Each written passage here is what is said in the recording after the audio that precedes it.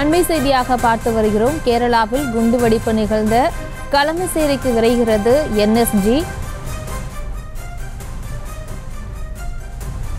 குண்டுவெடிப்பை அடுத்து எட்டு பேர் கொண்ட என்எஸ்ஜி அதிகாரிகள் குழு கேரளா விரைகிறது. இதனை அண்மை செய்தியாக பார்த்து வருகிறோம்.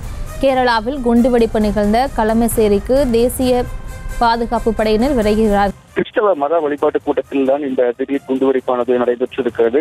அந்த வழிபாட்டு தளத்தில் நடைபெற்றுக் கொண்டிருந்த போது அந்த மூன்று முறை குண்டுவெடிப்பு நிகழ்ந்ததாக முதற்கட்ட தகவல்கள் வெளியாகின. இதையடுத்து கேரளா முழுவதும் பெரும் பதட்டமான சூழ்நிலை உருவான நிலையில் தொடர்ந்து அங்கு பா- பாதுகாப்பு பலப்படுத்தப்பட்டு குண்டுவெடிப்பதற்கான காரணம் என்ன என்பது குறித்து கேரள மாநில காவல்துறை விசாரணையை முடுக்கிவிட்டிருக்கிறது அது மட்டுமல்லாமல் விபத்தில் பெண் ஒருவர் உயிரிழந்த நிலையில் இருபத்தி மூன்று பேர் காயமடைந்ததாகவும் அவற்றை அவர்களில் ஆறு பேர் நிலைமை கவலைக்கிடமாக இருப்பதாக தகவல் நிலையில் தற்போது சிகிச்சை அளிக்கப்பட்டு வருகிறது.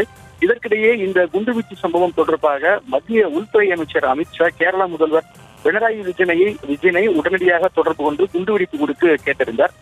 மேலும் இந்த குண்டுவெடிப்பு சம்பவம் தொடர்பாக தேசிய பாதுகாப்பு படை மற்றும் என்ஐஏ விசாரிப்பதற்கும் உத்தரவிட்டிருந்தார்.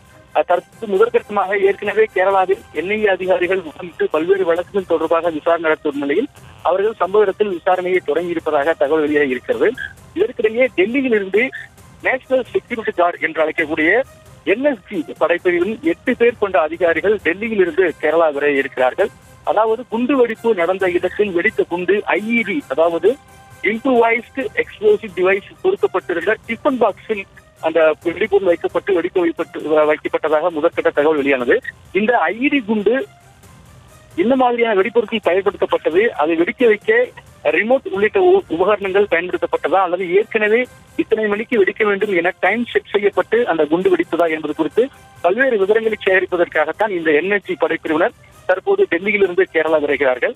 ஏற்கனவே சம்பவ இடத்தில் தடயவியல் நிபுணர்கள் மற்றும் கேரள காவல்துறை இணைந்து சோதனை மேற்கொண்டு அந்த வெடிகுண்டு மாதிரிகளை சேகரித்திருக்கும் நிலையில் என்எஸ்சி பிரிவினரும் இன்று மாலை கேரளா வந்தடைந்து அந்த வெடிகுண்டு விபத்து நடந்த இடத்திலே அந்த வெடிபொருட்களின் மாதிரிகளை சேகரித்து அது என்ன வகையான வெடிபொருள் எப்படி வெடி வெடிக்க வைக்கப்பட்டது என்பது குறித்தான தகவல்களை சேகரிக்க இருப்பதாக தற்போது தகவல் வெளியாகி இருக்கிறது.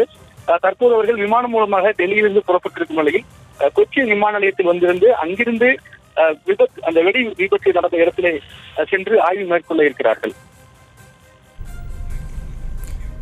விவரங்களுக்கு நன்றி. செய்திகளை உடனுக்குடனும் துல்லியமாகவும் தெரிந்து கொள்ள சப்ஸ்கிரைப் பண்ணுங்க.